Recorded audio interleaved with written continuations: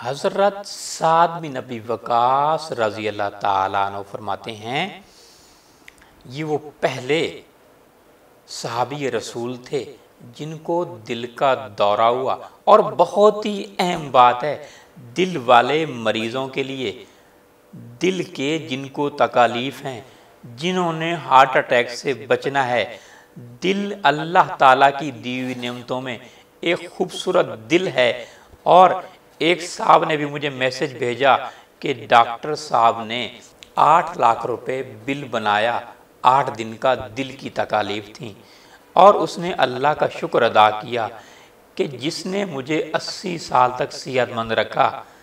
اللہ نے تو کبھی اس دل کا بل نہیں مانگا۔ سبحان اللہ۔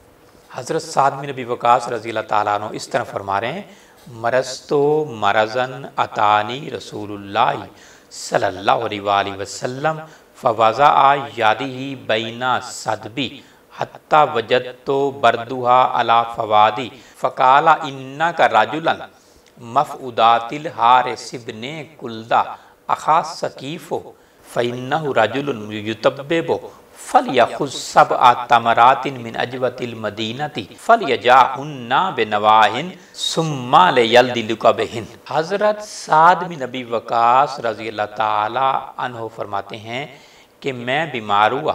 میرے گھر نبی صلی اللہ علیہ وآلہ وسلم تشریف لائے۔ انہوں نے اپنا ہاتھ میری چھاتی پر رکھا اور ان کے ہاتھ کی ٹھنڈک میری ساری چھاتی میں پھیل گئی۔ پھر مجھے فرمایا کہ تمہیں دل کا دورہ ہوا ہے۔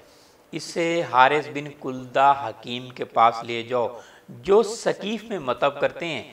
اور حکیم کو چاہیے کہ مدینہ کی سات عدد کھجوریں گٹھلیوں سمیت پیس کر انہیں کھلائیں۔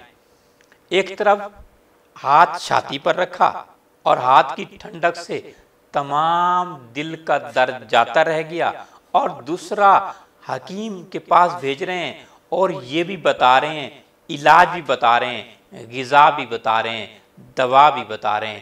سبحان اللہ، میرے نبی رحمت صلی اللہ علیہ وآلہ وسلم حکیم بھی تھے، طبیب بھی ہیں۔